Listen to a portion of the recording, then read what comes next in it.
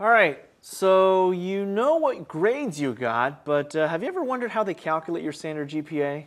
Hi, I'm Jimmy, and we're here to uh, show you how, exactly how they do that.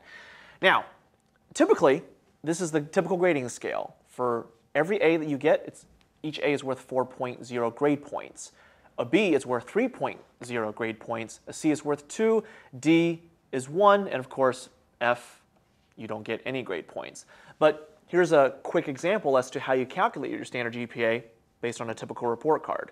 Now, suppose you have two A's, two B's, and one C in the five courses that you took.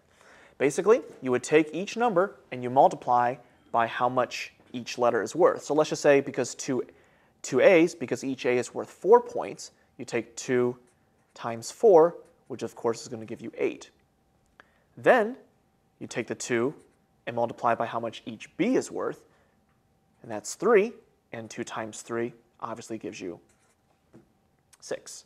And that 1c, you have 1 times your 2, which gives you, of course, 2. Now, once you have that, all you need to do is do two things. Number one, add how many grade points that you have. 8 plus 6 plus 2 is going to give you 16. And what you're going to do is take the 16 and divide by how many courses you took. Since you have two A's, two B's, and one C, you took five classes. And then what it becomes is a very simple long division problem. 5 goes into 16 is going to give you 3 times. 3 times 5, 15. There's going to be a remainder 1. Now, it's 1 out of 5.